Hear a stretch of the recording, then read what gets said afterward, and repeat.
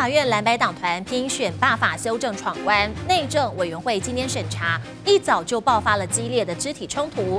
民进党动员了全党五十一名立委突袭委员会霸占主席台，一开会就跟蓝委互相推挤。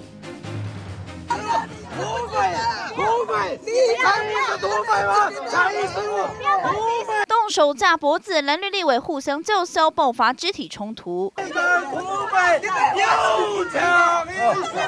民进党立委蔡依瑜更指控，就是这一刻，国民党徐巧芯踩过他的肚子。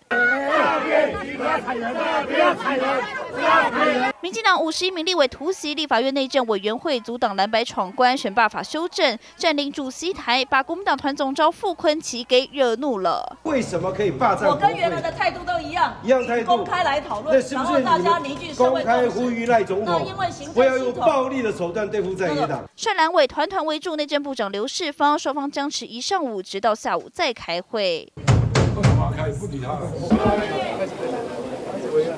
搬桌子卡住门，守住会议室门口，阻挡蓝委进入。外头一位疑似内政委员会招委高金素梅的助理往人墙硬闯，又爆发推挤。